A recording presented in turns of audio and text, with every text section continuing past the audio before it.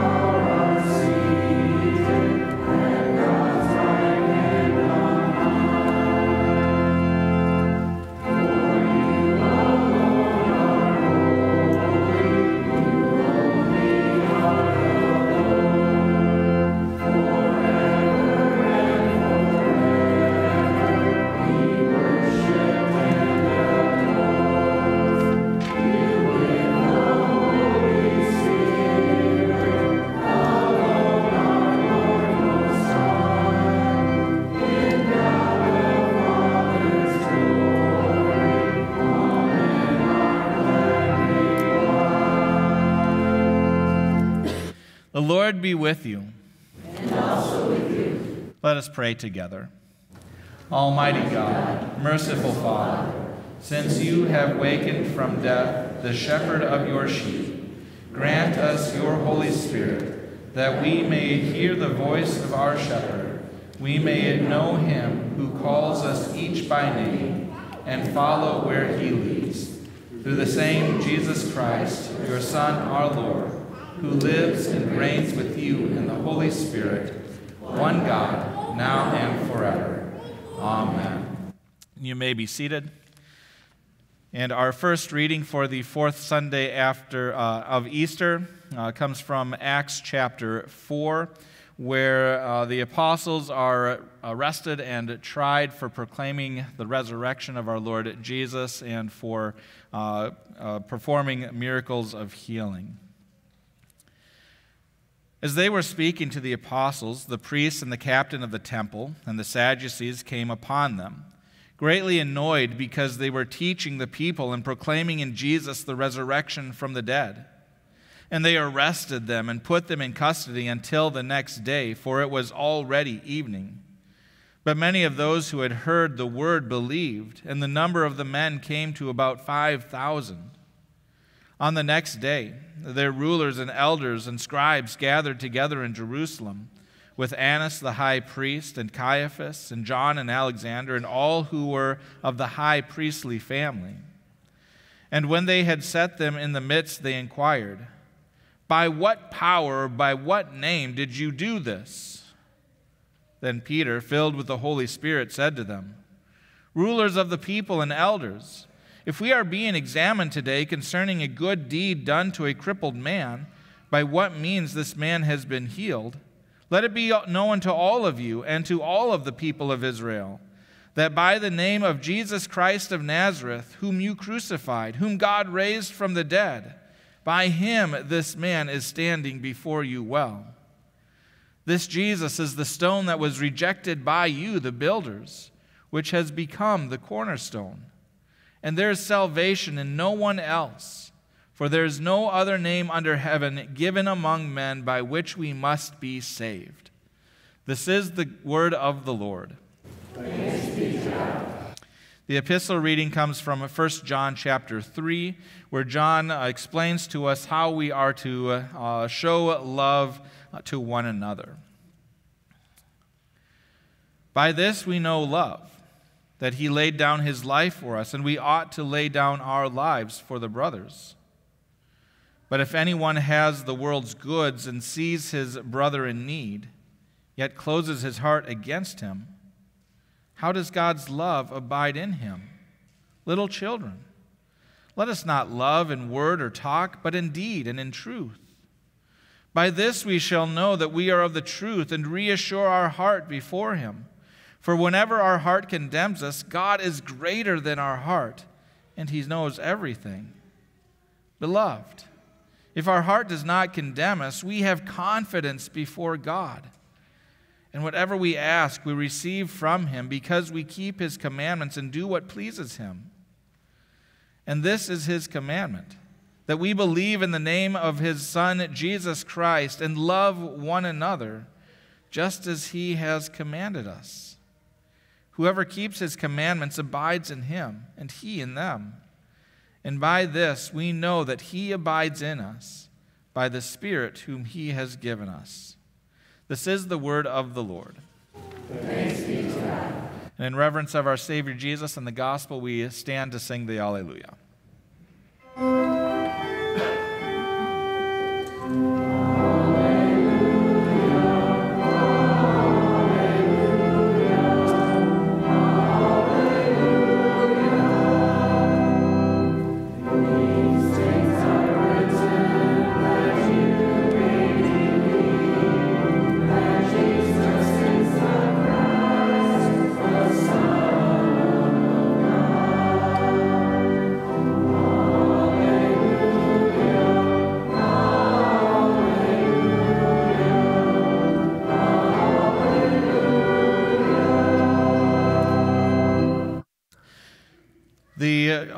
Gospel according to St. John, the 10th chapter.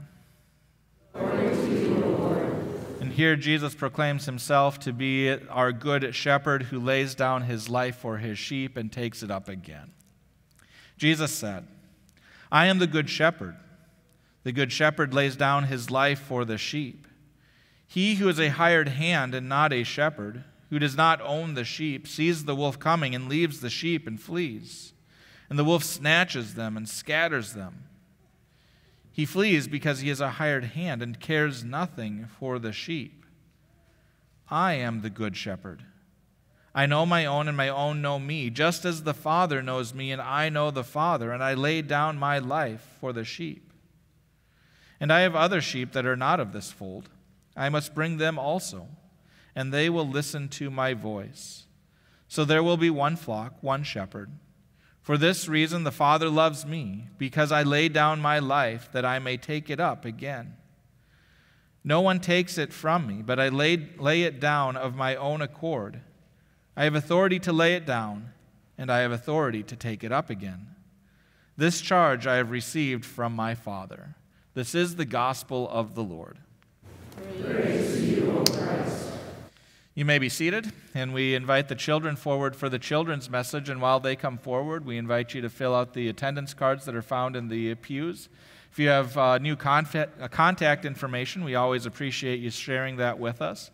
And if you have prayer requests, you may include that on the back of the cards uh, for our prayers today. And in preparation for the Lord's Supper, we invite you to uh, exam- uh, study the uh, statements on the back of the cards in preparation and examination for the Lord's Supper today. All right. Good morning, everyone. Do we have everybody? Okay, so this is what I want you to do. Okay? You see everybody up here with us? Okay? Take a look around, all right? Just up here. Okay? You see, look around, look at everybody. Now I have a question for you. Do we all look exactly the same? No, we don't look exactly the same, do we? We kind of look the same, though, right? We have, we have a few things in common, right? Like we all have a body, we have skin, right? We all have a soul, we're all human, we have that in common, right? But we don't look exactly the same because we're not exactly the same, right? We have boys up here and we have girls up here, right? Is that different? Yeah. Is that a good thing, though? Yeah, because God has created boys and God has created girls, right? Girls are supposed to act like girls and boys are supposed to act like boys, right? Yeah, because God created us, created us that way. And it's okay that that's the way it is, because that's the way God created us. But one thing that we also have in common, though, is we are broken. Remember that sinful stuff inside of us? That brokenness? We don't always do the things that we're supposed to do, like when we don't listen to our teachers or when we don't listen to our parents or we take things that are not ours. Jesus does not like that, does he? That's called a sin. He does not like that at all. But Jesus is also our good shepherd, and he did something for us. What did Jesus do for us? Yeah, he died on the cross for us. And three days later, what did he do? He rose from the dead three days later. And because of that, all of us are forgiven. All of us have eternal life. All because Jesus, the Good Shepherd, laid down his life for us. So even though we're different. Jesus, our Savior, loves us all. And He died for you and rose from the dead for you. So, can you remember that? That Jesus loves you and died for you? Yes. Okay, well, let's go ahead and pray here. We'll have everybody join us. Dear Jesus, Dear Jesus thank you for this day. Thank you for this time together. And thank you for loving us. Amen. All right, I'll see you later.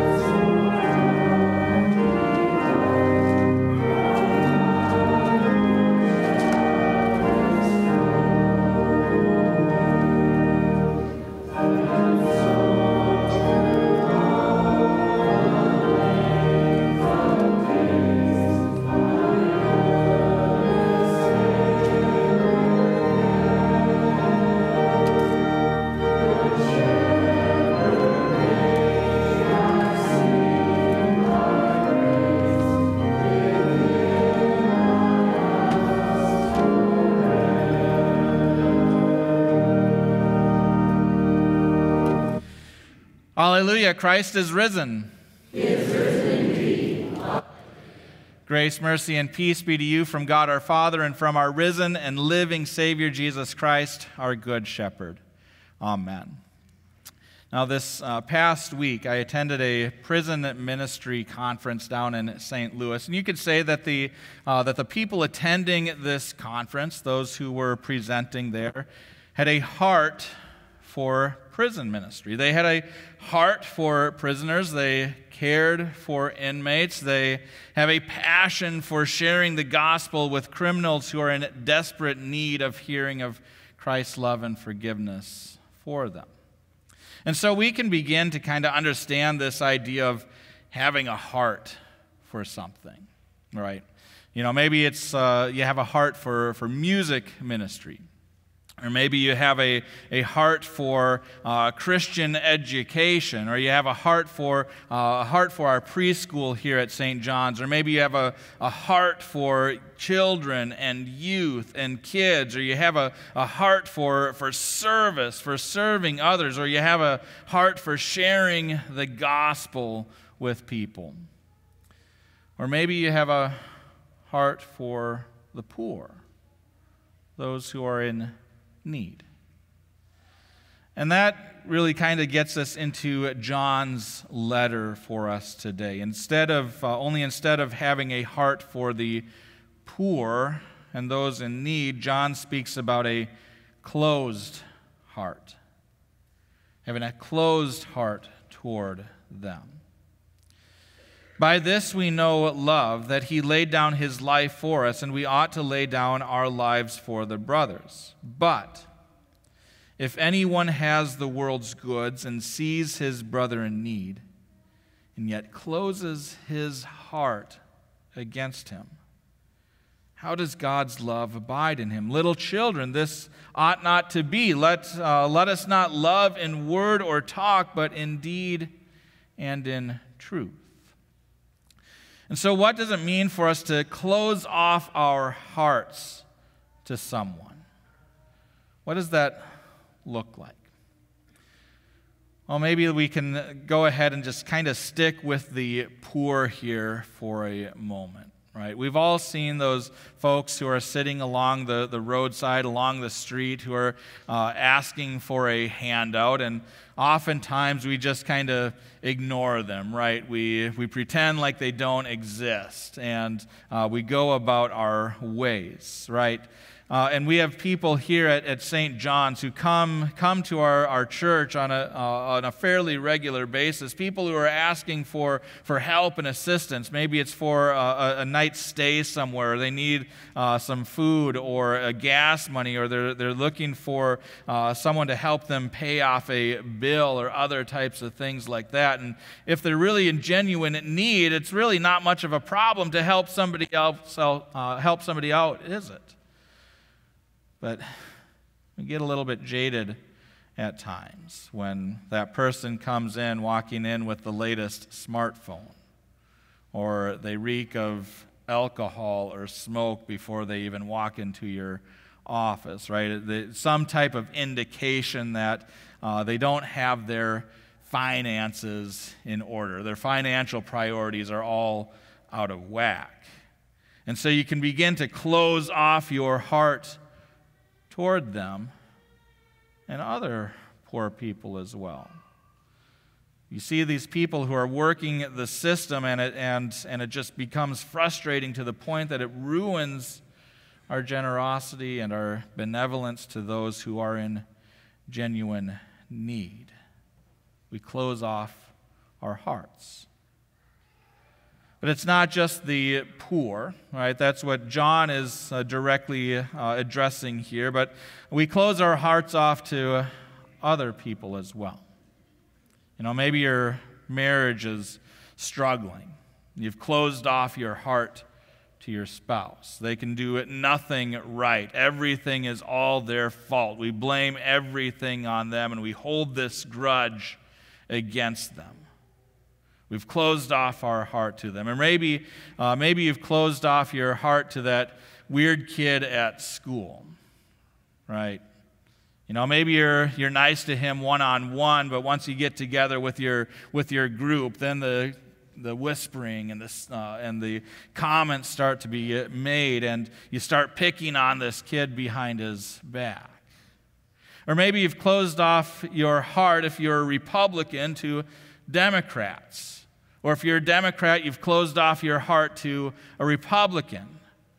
And, uh, and so uh, uh, you, we, we look at our politicians and we go, man, I really wish we could work together, that, uh, that our uh, politicians would do well. But then we hop onto social media and we begin to uh, character assassinate one party over the other, as though they're Satan incarnate. We've closed our hearts off to them. Or maybe if we go back to those criminals in prison, right? The criminal who has committed some type of awful, heinous, gut wrenchingly terrible crime. We can close our hearts off to them. Right now, maybe if they've done something not so bad, we're all right with that. But that dude that's walking down Death Road, walking that green mile in his final moments of, of life, walking with that preacher who's proclaiming Christ's forgiveness to him. Well, it can be a little hard to imagine that, that individual, that criminal, spending an eternity in heaven with his victim right? We've closed our hearts off to them. And so we become kind of like that hired hand, uh, that hired hand that's described for us in John's gospel for today, who cares nothing for the sheep right? We can kind of go through the motions. We can get the job done, do what we need to do. But when push comes to shove, when the wolves come in and life gets a little bit hard, and we begin being attacked, boy, we abandon ship and flee quickly, right? We don't want to have, we don't want to have anything to do with that because we don't really care all that much. We've closed off our hearts to them. We can talk a good talk, but we don't always walk a good walk. But by this we shall know that we are of the truth and reassure our hearts before Him. For whenever our heart condemns us, God is greater than our heart. Jesus, our good shepherd, has a heart for you. He cares for you. He lays down his life for you to take it up again. Even when we've closed off our hearts to others, Jesus opens up his heart to us. For his heart is greater, his heart is bigger, his heart is more compassionate than ours, his heart is more caring than ours. And unlike that hired hand who cares nothing for the sheep, Jesus, our good shepherd, loves you. He cares for you. He loves you deeply that he would do anything for his sheep. Even leave everything behind to go after that one lost sheep. He provides for all of our daily needs. He, he takes on the wolves of this world. He takes on this world's evil. He fights Satan himself, only to, uh, who comes only to kill and destroy us. Jesus fights for us, leaving behind those scars in his hands, in his feet, and in his side, the battle wounds of that fight. And he does all of this because our good shepherd even lays down his life for us. He lays down his life for his sheep on the cross. Jesus died for the poor.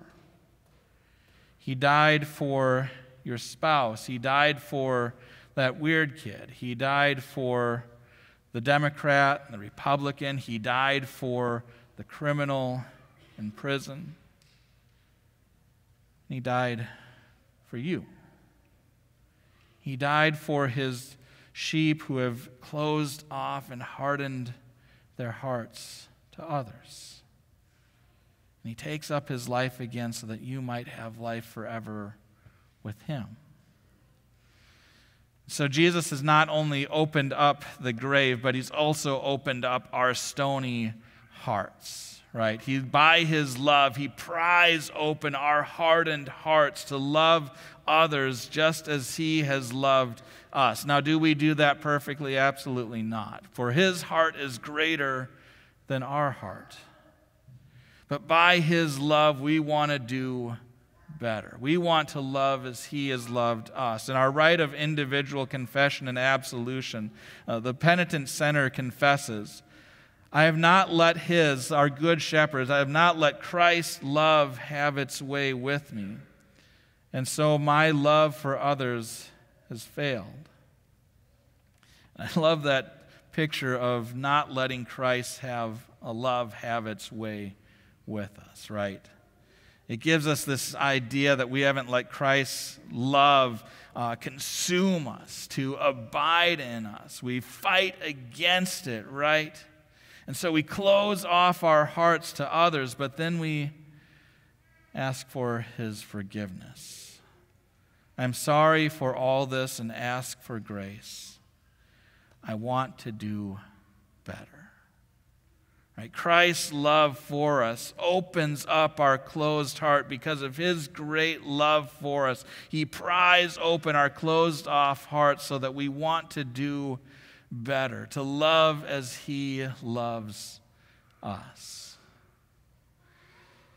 And John reflects in this letter whatever we ask, we receive from him.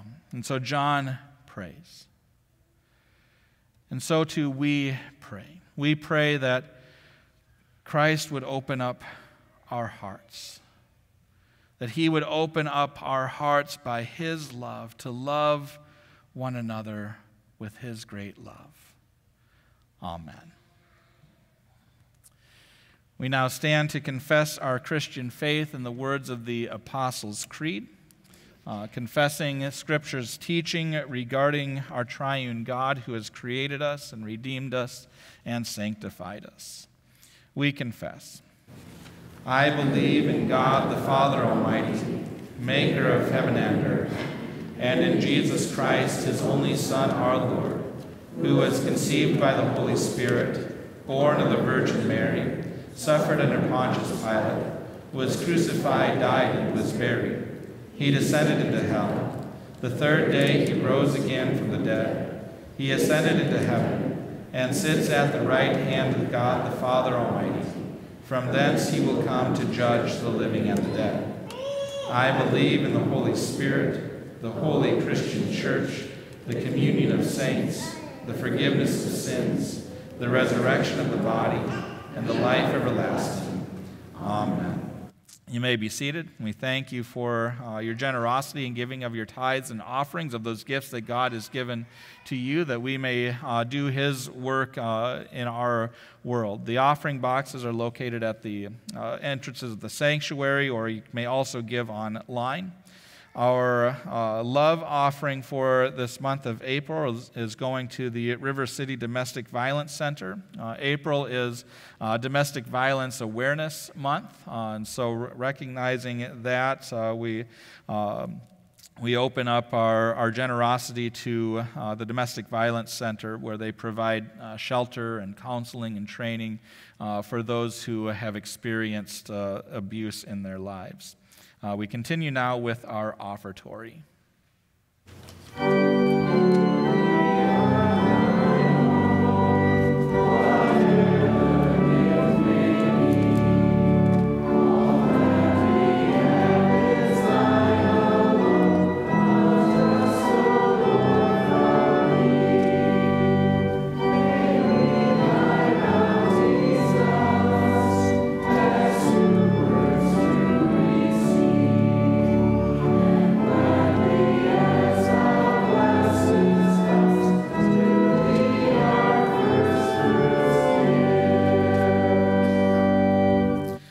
Us pray for the whole church of God and for all people according to their needs. We pray. Lord Jesus, our good shepherd, uh, you have sought out your sheep and gathered us into your flock.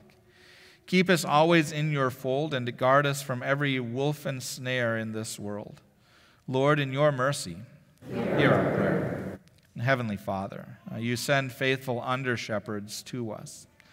Call all who have wandered from your flock and bless pastors, DCEs, deaconesses, teachers, and missionaries who gather them through the voice of your word. Lord, in your mercy, hear our prayer. Heavenly Father, your Son has called us to love our brothers and sisters and turn us in love toward those uh, closest to us, especially within our own homes, that we may daily show our confidence in God by deed and in truth, laying down our lives as Christ did for us. Lord, in your mercy, hear our prayer.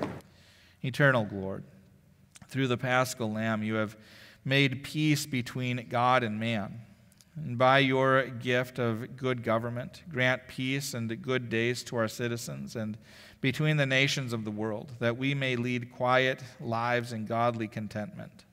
Lord, in your mercy, hear our prayer. Heavenly Father, by the first fruits of Christ's life from the dead, you have uh, secured eternal life for all who believe and give health and well being to all those who suffer among us, especially for those battling cancer, including Jared and Jean, Lindy, Emily, David and Dennis, Dan and Pam, Arliss, Bob, Christy, Forrest and Marvin, Warren, Sheila, Kim, Craig, and Linda. Give health and healing to those afflicted with other health concerns, including Stan and Jim, David and Dee, Ruth, Lori, Walter, Lorraine, Lyle, Darlene, and Shelley. Grant them aid in this moment, and uh, even more so, that you would grant them immortal health in the world to come. And grant your comfort and peace to all those who mourn, uh, for the family of Ruth, uh, and for, for Lori as she mourns the death of her father Leon, for Michelle mourning her brother Michael, for the family of Shirley and, uh, and for the family of Roger, that you would assure them of your promises and our good shepherd who laid down his life and took it up again in the resurrection. Lord, in your mercy, hear our prayer. Lord, our, our heavenly, our, our good shepherd, uh, you calm all fears in this valley of the shadow of death, and you prepare this holy table of your Son's body and blood for us uh, in the presence of our enemies and grant us repentant and faithful hearts. Uh, in every tribulation or sin, lead us to find comfort and strength in your overflowing mercy given to us in the sacrament. Lord, in your mercy, hear our prayer. O Lord our God, uh, out of your heavenly, uh, fatherly goodness, you have remembered us, poor, miserable sinners, and given us your beloved Son to be our good shepherd not only to nourish us by his word, but also to defend us from sin, death, and Satan. Grant us your Holy Spirit, that even in, uh, as this good shepherd knows us and helps us in every affliction, we may know him, trust in him, seek help and comfort in him, to obey his voice and obtain eternal salvation by his grace. Through Jesus Christ, your Son, our Lord, who lives and reigns with you in the Holy Spirit, one God, now and forever. Amen. We stand in preparation for the uh, service of the sacrament, and, uh, and just a reminder that if you desire to receive the common cup, to cross your arms across your chest. Uh, and if you uh, uh, are in need of gluten free wafers, please indicate that to those who are serving, especially for Pastor Jake as he is getting more acquainted with the members of the congregation.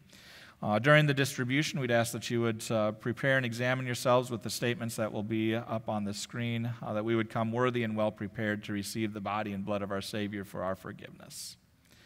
The Lord be with you. And also with you. Lift up your hearts. We lift them to the Lord. Let us give thanks to the Lord our God. It is right to give him thanks and praise. It is truly good, right, and salutary that we should at all times and in all places give thanks to you, O Lord, Holy Father, Almighty and everlasting God, for the countless blessings that you so freely bestow on us and all of creation. Above all, we give thanks for your boundless love shown to us when you sent your only begotten Son, Jesus Christ, into our flesh and laid on him our sin giving him into death, that we might not die eternally. Because he is now risen from the dead and lives and reigns to all eternity, all who believe in him will overcome sin and death and will rise again to new life. Therefore, with angels and archangels and with all the company of heaven, we laud and magnify your glorious name, evermore praising you and saying,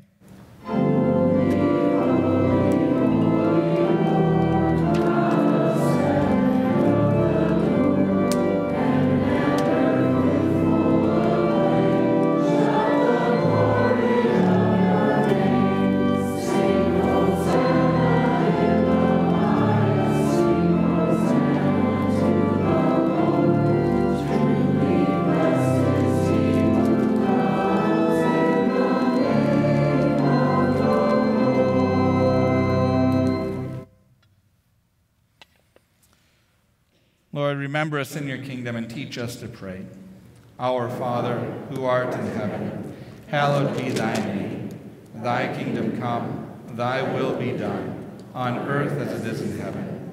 Give us this day our daily bread, and forgive us our trespasses, as we forgive those who trespass against us. And lead us not into temptation, but deliver us from evil. For thine is the kingdom, and the power, and the glory forever and ever. Amen.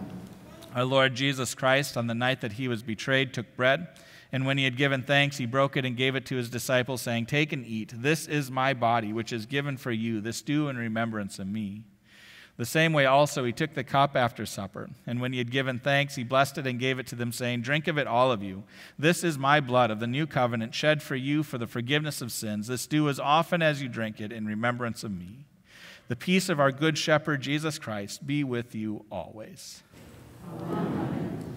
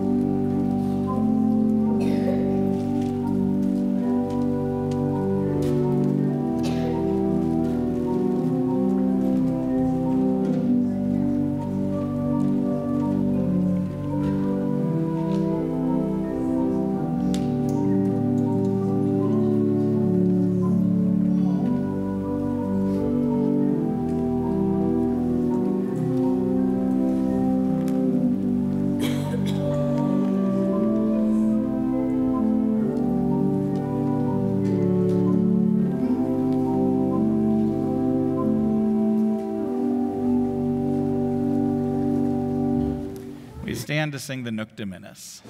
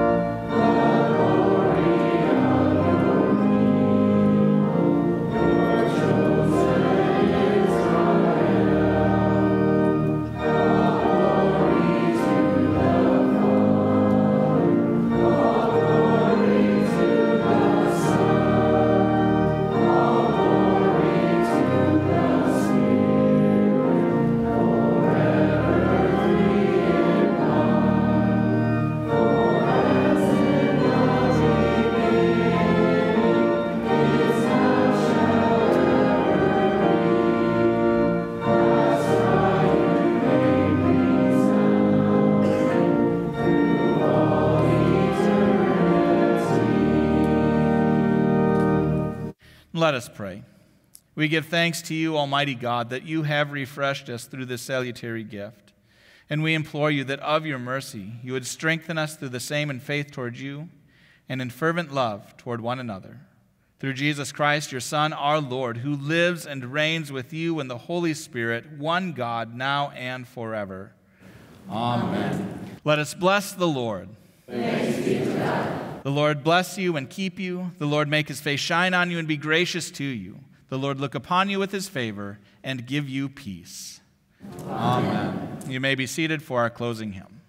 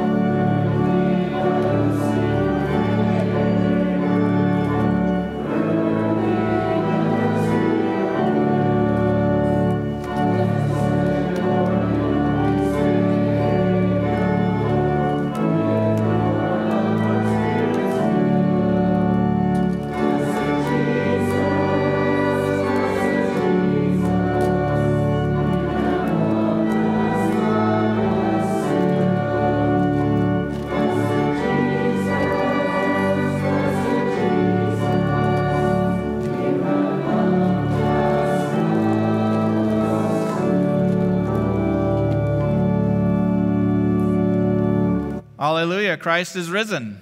He is risen indeed. Hallelujah. Good morning to each of you today in this Good Shepherd Sunday. Uh, we have a town hall meeting following uh, this service over in the fellowship hall, and this is uh, simply kind of an uh, informational meeting, updates, uh, an opportunity to uh, hear what's going on here in the congregation. And no business will be taken, but all are invited to join us for that town hall meeting.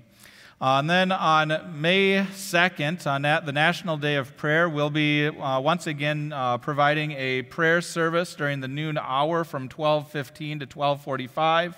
Uh, you're welcome to, to join us here in the sanctuary for that service. We'll also be live streaming it for those who are unable to uh, attend during that noon hour.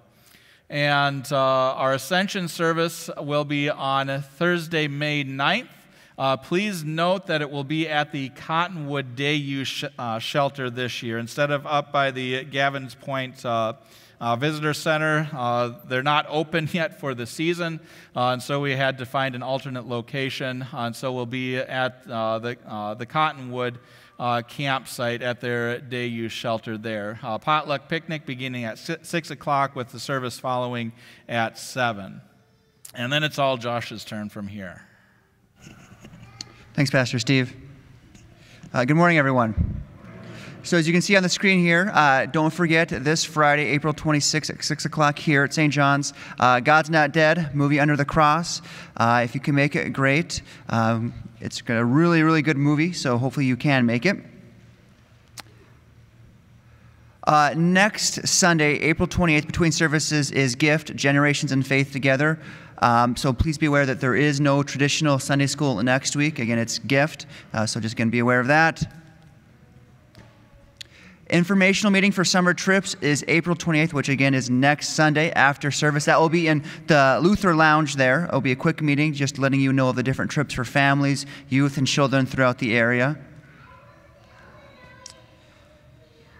And then the graduate reception for our St. John's graduates, senior graduates, is May 5th between services. So just be aware of that. Celebrate our uh, St. John's seniors who are graduating. And then the Conrad family is starting a faith family uh, starting on May 19th at 6:30 on Sundays. The sign-up sheet for that is back on the blue table. So if you need more information on that, uh, please let me know. And again, a faith family is just simply a Bible study that comes together and learns of God's Word. Um, that's really what it is. It's very fun, simple, and uh, good for fellowship as well. Uh, also, VBS um, is June 23rd through the 26th. Uh, the emails have been sent out. Uh, registration is out on Facebook, uh, so please be aware of that for planning purposes. Um, it's already that time of year.